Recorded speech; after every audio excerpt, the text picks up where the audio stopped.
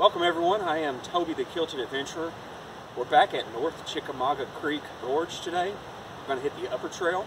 Looks like it's going to be a beautiful day. So let's have some fun.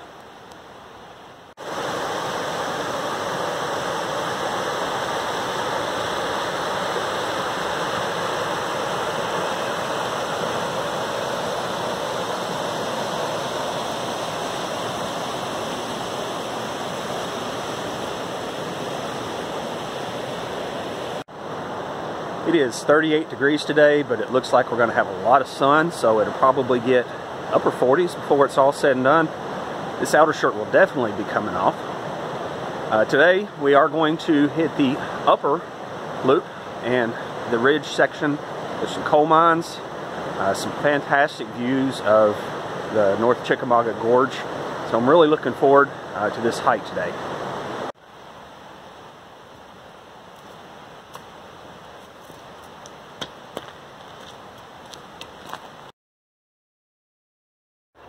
So we're to do the upper hogskin loop today.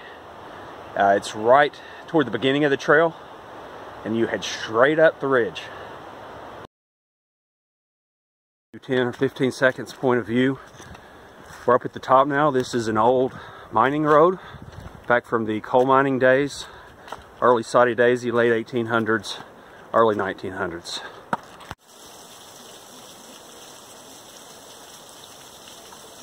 So a big part of what I love about this up here are these amazing rock formations that you have behind you the whole way. It's really nice.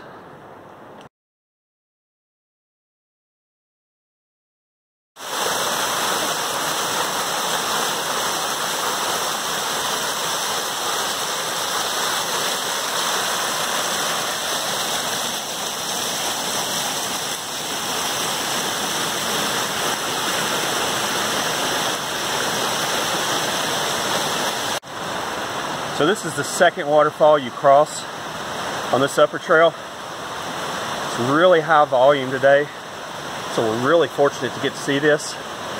And you can tell my outer shirt and my hat are both off because it is getting warm.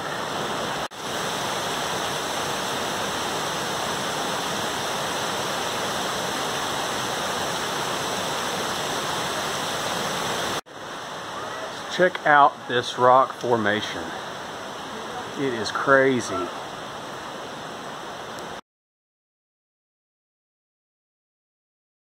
Behind me there is an old coal mine from the early coal mining days. I think it goes back about 35 feet. But there's a couple of these on the trail. Really uh, amazing.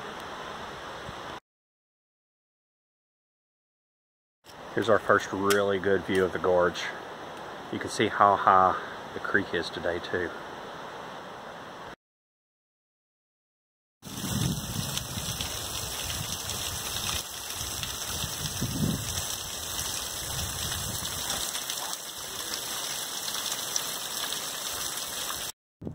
Alright, there is a great overlook before you get to the stairs.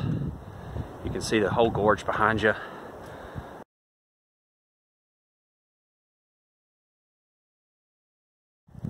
I'm at 2.37 miles and you have this set of stairs here.